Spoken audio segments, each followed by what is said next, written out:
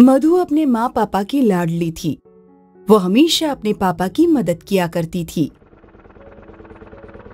ये लीजिए पापा मैंने ये कुर्ते के बटन टांग दिए हैं। बहुत अच्छे बेटा अब तुम्हें सिलाई करना भी सीख लेना चाहिए। क्या पता ससुराल में काम आ जाए? क्या पापा आप फिर मेरी शादी की बात कर बैठे? मैं तो यहीं आपके पास रहना चाहती हूँ। हाँ हाँ मेरी लाडली। तुम अपने पापा के पास ही रहो। धीरे धीरे मधु के पापा ने उसे सिलाई करना सिखा दिया। मधु को सिलाई करना बहुत पसंद था तो वो अक्सर अपने पापा की दुकान में काम किया करती थी। यहीं वल्लभ ने मधु को देखा और उसे वो भाग गई। वल्लभ ने मधु के पिताजी से रिश्ते की बात की और कुछ महीनों बाद वल्लभ और मधु की शादी हो गई। वल्लभ अच्छी नौकरी करता था, इसीलिए शुरू शुरू में सब ठीक था। दो साल बाद, जब मधु ने बेटी को जन्म दिया,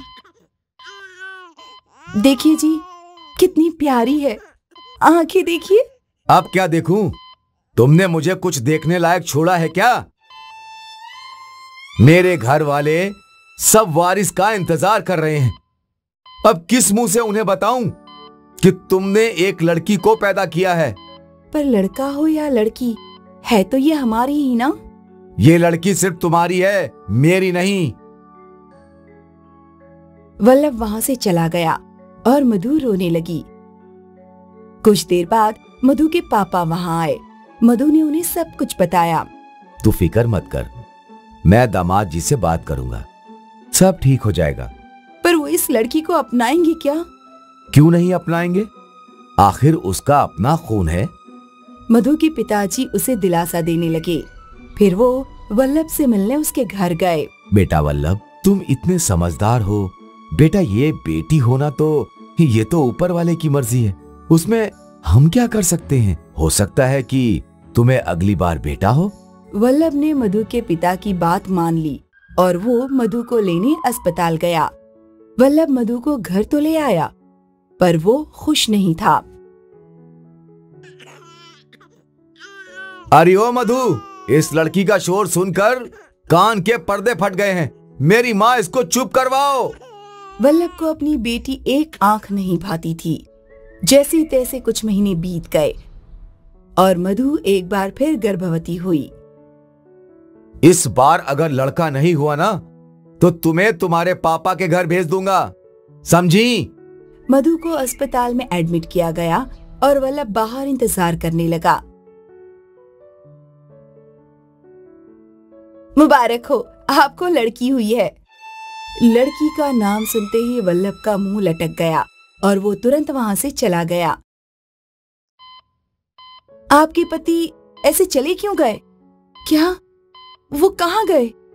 मधु वल्लभ को रोकने उठ ही रही थी कि तभी उसके पिता वहाँ आ गए। पापा पापा वो गुस्से में चले गए। फिर बेटी हुई है।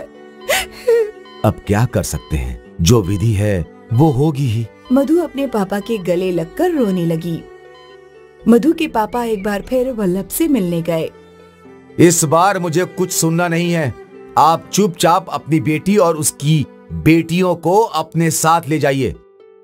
पर वो बच्चियाँ तुम्हारी भी हैं। उन लड़कियों से मेरा कोई वास्ता नहीं है। ये सुनकर मधु के पापा हताश होकर वहाँ से चले गए। वो मधु और उसकी दोनों बेटियों को अपने घर ले गए।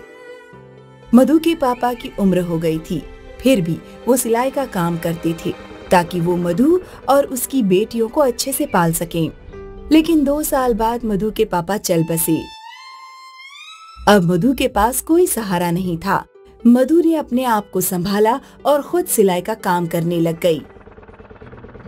वो अपनी दोनों बेटियों को संभालते संभालते सिलाई का काम भी करती थी। देखते देखते उसकी दोनों बेटियाँ बड़ी हो गईं और स्कूल जाने लगी। मधु की बड़ी बेटी माया स्पोर्ट्स में बहुत अच्छी थी। मैं आपकी परिस्थिति जानता हूँ, लेकिन मैं चाहता हूँ कि आप माया को सपोर्ट कीजिए। वो टैलेंटेड है और बहुत जल्द आपका नाम रोशन कर दिखाएगी। सर, जितना मुझसे हो सकता है मैं करूँगी। पीटी सर ने माया की कोचिंग जारी रखी और मधु दुकान पर ओवर टाइम काम करने लगी ताकि वो माया को सेहतमंद खाना और उसकी स्पोर्ट्स की ज़रूरत की चीज़ें दिलवा सकें। माया भी जी तोड़ मेहनत कर रही थी। इन दोनों माँ बेटियों की मेहनत रंग लाई और माया ने स्टेट लेवल चैंपियनशिप में गोल्ड मेडल जीत लिया। माया ने अपनी माँ का नाम रोशन कर दिया, जब उसकी और उसकी माँ की तस्वीर अखबार में आई। ये तस्वीर देखकर वल्लभ सोच में पड़ गया कि आज उसका भी नाम उस अखबार में होता, अगर वो बेटी के जन्म पर अपनी पत्नी को अकेले ना छोड़ देता। उसकी इच्छा थी कि वो वापस जाकर माफ़ी मांगे, पर अब किस मुँह से? विवेक और राधा का एक आम सा परिवार था, जिसमें उनकी जुड़वा बेटियाँ थी, सीता और गीता। सीता अक्सर किताबों में घुसी रहती थी और गीता को तो पढ़ाई एक आँख नहीं भाती थी, वो पढ़ाई की बुक के अंदर कॉमिक्स पढ़ा करती थी। और जब रिज़ल्ट का दिन होता तो गीता का चेहरा हमेशा लटका हुआ ही रहता, क्योंकि टीचर उसकी मम्मी को अच्छे से खरी खोटी सुनाया करती। और जब बात सीता की आती तो टीचर हमेशा तारीफ़ करते नहीं थकती थी। लगता ही नहीं कि ये दोनों जुड़वा बहने हैं। एक क्लास में फ़र्स्ट आती है और दूसरी हमेशा फेल होती है। आप गीता की पढ़ाई पर भी थोड़ा ध्यान दिया कीजिए। विवेक और राधा टीचर के सामने कुछ बोल ही नहीं पाते थे। क्लास से बाहर निकलकर विवेक गीता को डांटने लगा। गीता कभी तो पढ़ाई को सीरियसली लो। हमेशा तुम्हारी वजह से टीचर की बातें सुननी पड़ती हैं। कुछ तो सीखो सीता से। तुम पढ़ाई नहीं करोगी तो कैसे चलेगा? विवेक गीता को डांट रहा था। ये सब पीटी टीचर ने देख लिया और वो वहाँ आए। Good morning sir good morning Gita. Good morning आप इसे डांट क्यों रहे हैं? सर आप तो जानते ही होंगे, हर एग्ज़ाम में फेल हो जाती है ये। ये देखिए, सीता हमेशा टॉप करती है और गीता हमेशा फेल हो जाती है। टीचर हमेशा गीता के लिए सुनाती है। अब आप ही बताइए, इसका क्या करूँ? सर, हर बच्चा एक जैसा नहीं होता। माना सीता और गीता जुड़वा बहने हैं, पर उन दोनों की भी पसंद अलग है। गीता स्पोर्ट्स में बहुत अच्छी है। पर सीता को स्पोर्ट्स नहीं पसंद। आपको गीता को उस चीज़ में सपोर्ट करना चाहिए जो उसे पसंद है। अगर गीता को आप सपोर्ट करेंगे तो वो बहुत अच्छी बैडमिंटन प्लेयर बन सकती है। मुझे गीता पर बिलीव है। मैं खुद आपके घर आने वाला था।